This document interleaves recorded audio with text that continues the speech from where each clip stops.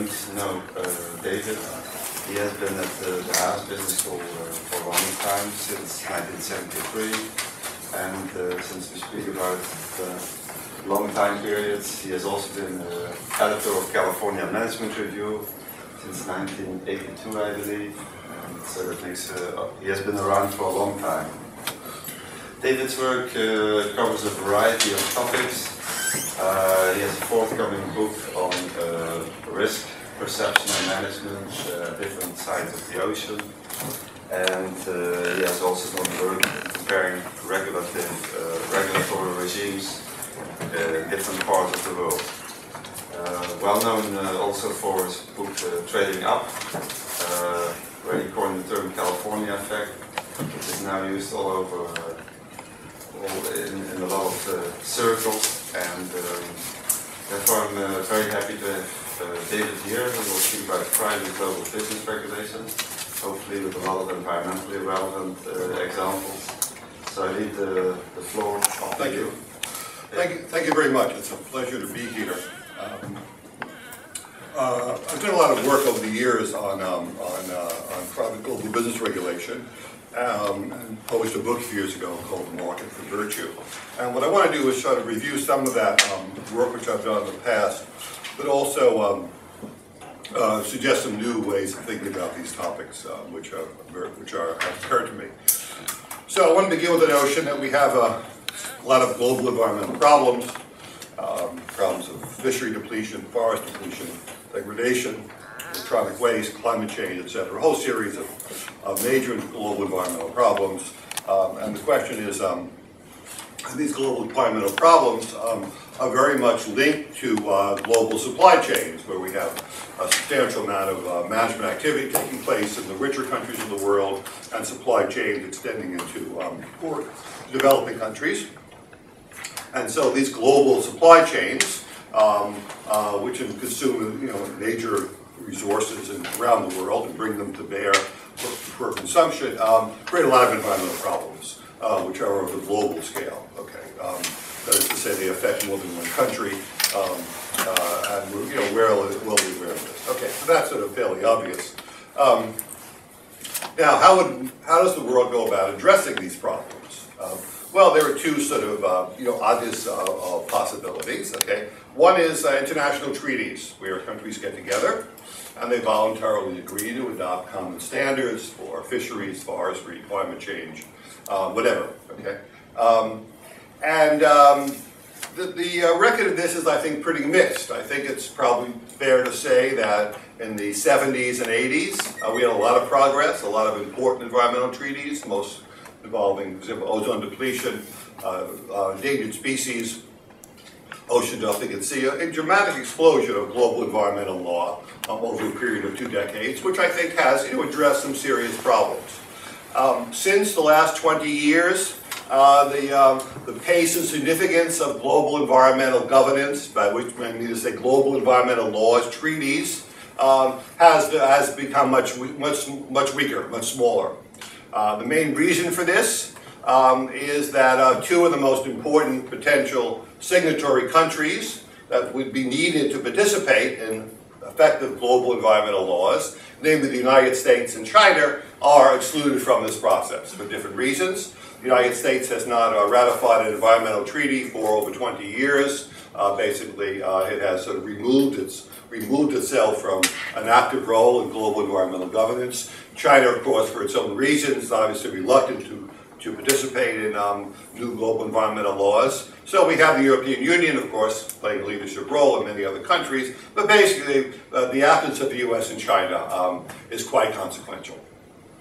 So that means that on the whole, um, there are a lot of important global environmental problems uh, which are not being effectively addressed by countries, by two treaties. Okay. The second um, mechanism um, is uh, through trade policy, where in principle um, relatively developed or greener countries could um, uh, uh restrict uh, imports of um, products and production uh, from, from, you know, from developing countries which have weaker environmental standards. a lot of debate about this, of course. Um, W World Trade Organization rules uh, generally uh, make it hard to do so, um, uh, make it very hard to restrict imports on environmental grounds. Um, and of course, there really isn't much support for doing so. Basically, doing so would, of course, disrupt global supply chains, would raise the costs of products sold in the rich countries, um, and obviously would be a disadvantage to uh, exporters in developing countries. So there really isn't much of it, on the whole, with a few exceptions here and there, uh, there's not really much of a constituency um, for, um, for trade restrictions. Give you an exception, which is very unusual. Um, the government of Indonesia, just you know, give you a hopeful example, but very atypical, the government of Indonesia has finally woken up to the problem of um, illegal forestry, illegal harvesting of timber, uh, becoming a big issue. The government has decided this is not good. It's a, wants to favor legal timber. Um, much of that timber goes to the U.S. Um, it worked out. Uh, U.S. Congress passed a legislation uh, prohibiting illegally harvested timber from coming into the United States. Uh, this, of course, reinforced the Indonesian government's regulations. It that, of course, you helped, and, and then the, um, uh, the Indonesian government, of course, supported U.S. environmentalists. And so you basically, you know, have a law passed by Congress saying uh, we're going to certify wood has to be harvested legally. Um, so that's a rare, you know, that's an example of a use of a trade restriction, which was, you know, supported by a developing country government as well as by a rich country. Uh, but those are, they become very atypical. Okay, so we have, again, a lot of global environmental problems, um, and we have um, uh, limited global um, state resources to address them. So how are we addressing them? Well, one mechanism is, of course, which um, we're going to focus on, um, is this notion of uh, private governance, okay, where we uh, have laws, we have rules and regulations, uh, so-called soft law, and non-state regulation, um, private authority, uh, where we basically um, create rules within the private sector uh, which govern various uh, practices, labor practices, environmental practices. Um, and these have really exploded. Okay, we roughly probably have three, four hundred uh, different rules, codes, and standards.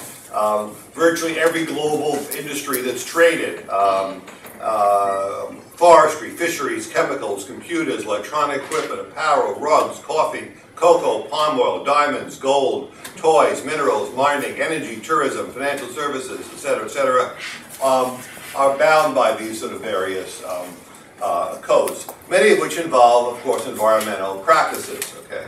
Um, uh, we, uh, we have, for example, 16 different codes on food, um, uh, several on wood and paper, et cetera, et cetera. Okay, so this is actually, this so-called certification, which is how they often work, right, which is basically we establish some standard, some private standard of good practice about how something is produced, say how palm oil is produced, for example, or wood products or fisheries.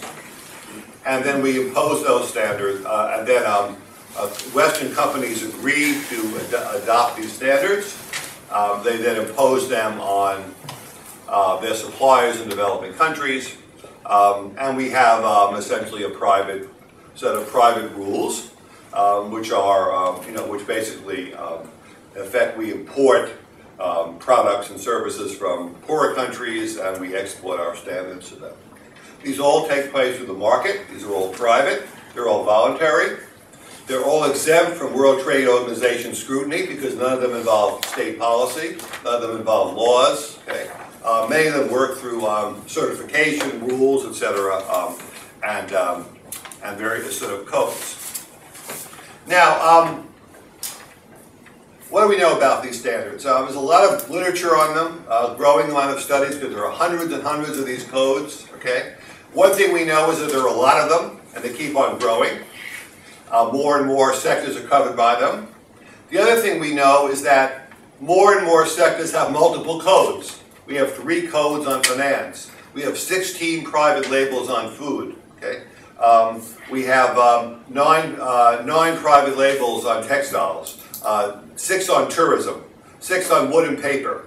In other words, we have this enormous explosion of these private certifications. Let's give you one example. These are these are a roundup of green labels, uh, which are used in the United States. Green Seal, Energy Star, Design for the Environment, Water Sense, Forest Stewardship Council, Scientific Certification System, Eco Label, Green Guard, Cradle to Cradle, Electronic Product Environmental Assessment, Global Organic Textiles, Biodegradable Products Institute, Blue Score, Totally Chlorine-Free um, uh, Rug Institute's Green Label. Okay. If you look at coffee, for example, we have fair trade coffee, we have shade grown coffee, we have organic coffee, et cetera, et cetera, et cetera.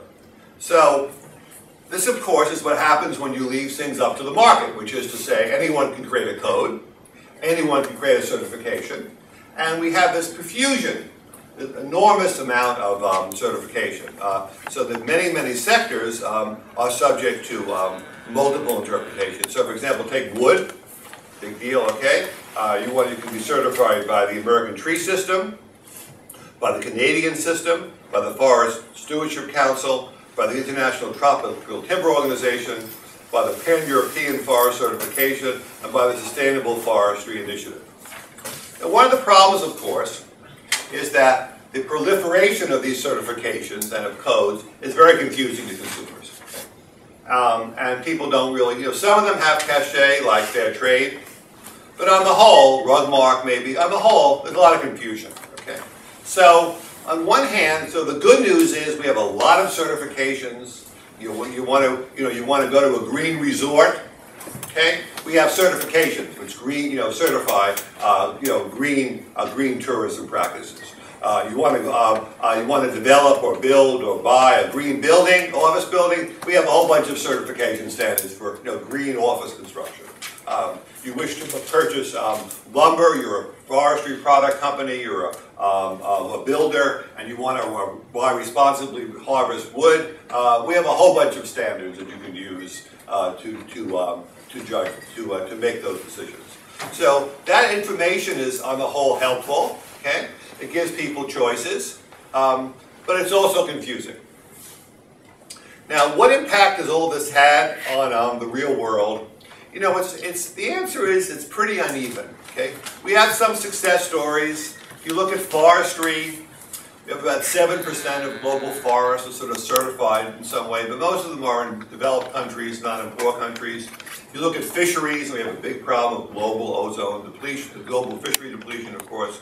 Again, um, most of the certified fisheries are not, you know, the real danger. They're in relatively developed countries as well, um, et cetera, et cetera. So if you look at the whole sort of story, um, uh, I think, you know, one can cite examples of progress, and they certainly have made Western firms much more aware of, um, of how the products are made, which was not true, you know, 15 to 20 years ago. Um, so that's all sort of true and important. Um, what impact they've had, it's unclear. Um, how good are these standards? How good are these certifications? uh, which are credible, which are not, uh, which are tougher, which are less tough, which are deceptive. You know, it's, a, it's complicated out there, okay? And I think on the whole, most consumers, most of the time, have a pretty dim awareness of any of these certifications, with a few exceptions, fair trade. On the whole, most people have a pretty limited idea. You know, the EU has an eco label and the flour, et cetera. So, you know, that's sort of useful. But again, you know, what happens is that as soon as one firm gets certified, all the others get certified. Hard to know what's going on. Anyway, so I think, you know, the, the, um, the evidence, um, the evidence um, on the impact of all this is uh, still unclear, okay? Um, and, um, you know, there are some cases of pretty effective codes and pretty effective certifications. Um, a lot of them are very controversial. There's a lot of debate about how, how, much impact they're having, how easy it is to get them, et cetera, et cetera, et cetera. Okay. Um, I think one of the problems uh, remains in that uh, most of this pressure comes from companies. Individual consumers on the whole are, on the whole, in most cases, you know, pretty indifferent to these standards. Um, people care about them to the extent that it benefits them, like organic, and they feel it's healthy for them. But once you get beyond our energy efficiency, well, you know, it makes it easier for you to spend less money on your energy bill.